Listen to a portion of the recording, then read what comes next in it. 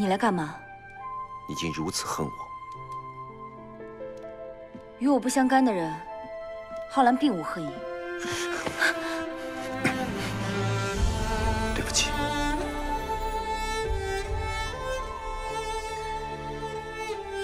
那一日的誓约，是因为我。其实我从未怪过你。吕不韦，让我生气的不是你失约，而是你毫无解释。你可以不随我走，但你不能轻视我，更不能欺瞒我。我想要的是毫无保留，是一片赤诚，不是你自以为是的善意，更不是你高高在上的保护。好了，你是个聪明人。你永远知道自己最需要的是什么。你爱权势，爱地位，爱高高在上，爱千古名流，不惜一切代价，你也要达到自己的目的。这就是你吕不韦啊，永远都不会改变。营救秦王孙，既是你自己的诺言，又能实现你的抱负。你策划了那么久，若因为我而放弃，将来你一定也会后悔。而我恋慕的，也恰恰是那个高高在上。光彩夺目的你，若你吕不韦真的因为我而放弃了一切，你还是你吗？浩然，我们是如此的相似，失去了你，我就好像失去了一双眼睛，一只手，失去了生活的乐趣。人怎么能这么对待自己呢？不，不可能。所以，求你原谅我。从今以后，我再也不瞒着你，什么都告诉你。吕不韦，失去了你，我做什么事都没了兴趣。回到我身边好吗？也许你并不是我需要的那个人，可你是我需要的。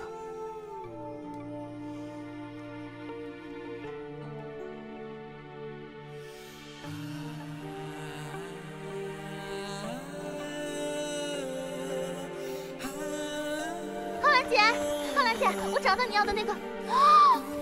对不起，对不起，我什么都没看到。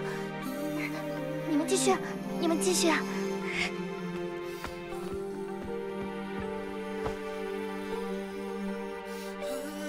我要准备宴会的事，要是你没什么事儿，先回去吧。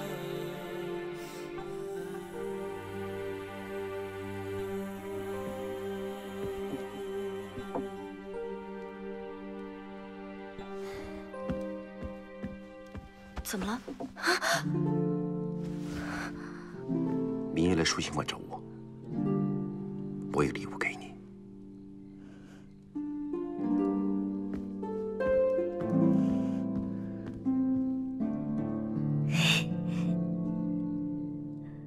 玉，主人，你可回来了？怎么回事？老爷，老爷，老爷怎么了？老爷今日出城，被卫兵给带走了。为什么？今日我们运送丝绸出城，然后卫兵搜查的时候，从里面发现了玉琮、玉璧，那都是礼器啊。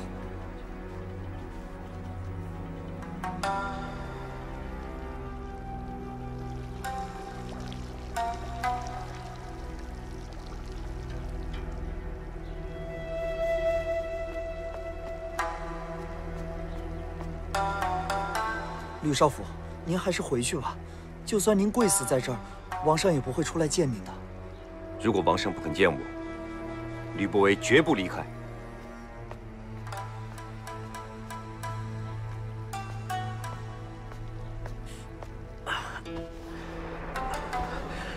丞相，我父亲是正经的生意人，璧从乃是贵重礼器，早已明令禁止贩卖，他不会知法犯法的。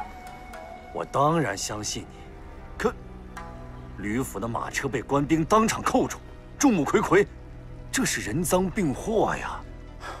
此事必定有人故意冤枉。哦，此话怎讲？吕府向来信誉良好，出入城门只是简单搜查，而这一次连于司寇都出动了，未必不是他暗中动了手脚。于平，你和他有什么过节？公子教大肆拉拢官员，于平早就成了他的亲信。丞相，您不知道吗？你和公子交有旧怨，他对你动手也不奇怪。你可有证据？他们手脚很干净，没有留下任何把柄。没有证据，说什么都是枉然。当今之计，只有请丞相求情。我刚刚在王上那儿已经劝说过了。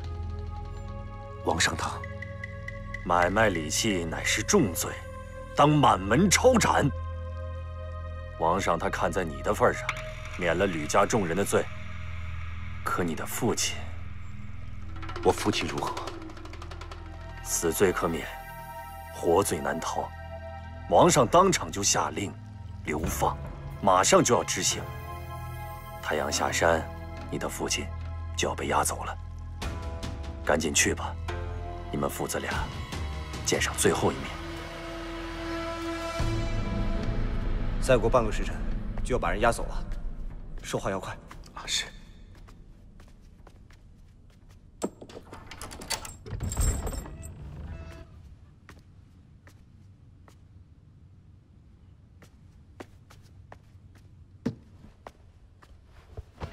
父亲，要不是掉脑袋、流放而已，用不着这么难过。儿子心中有愧，对父亲无能为力。我十三岁的时候，跟你祖父四处奔走，风餐露宿，原以为家财万贯就可以安度晚年了，想不到。落得如此下场，杀，商人呐！狗屁！父亲，你知道你的祖父是怎么死的吗？祖父得罪了魏国丞相，被人毒打后吐血而亡。他为什么被打呀？他是不愿意献出自己的别院，被打的大口大口的吐血，呼哧呼哧的喘着粗气，就像一条登上岸的鱼。断气的时候没有闭上眼睛，死不瞑目，死不瞑目。死不瞑目啊！你当时向我说出了你自己的心愿，你知道我心里有多高兴吗？这说明我们吕家从此以后有了英才。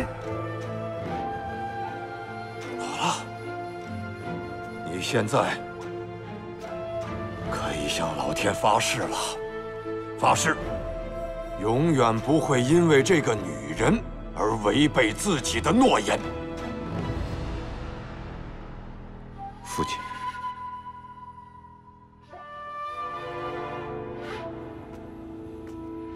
向天发誓。父亲，我爱他。父亲，父亲，也请您放心，上下我都已经打点好了，您在路上不会吃苦的。过些日子，我一定风光的把您接回邯郸，父亲。你可以走了，父亲。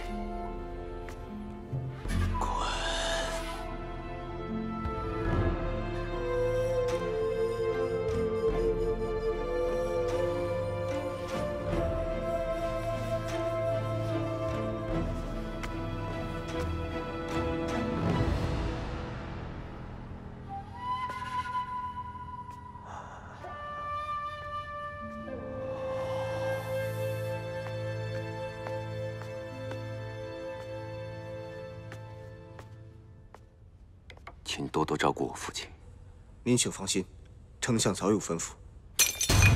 有人割喉了！快来人啊！快来人！父亲，父亲，就在那边！父亲，父亲，父亲！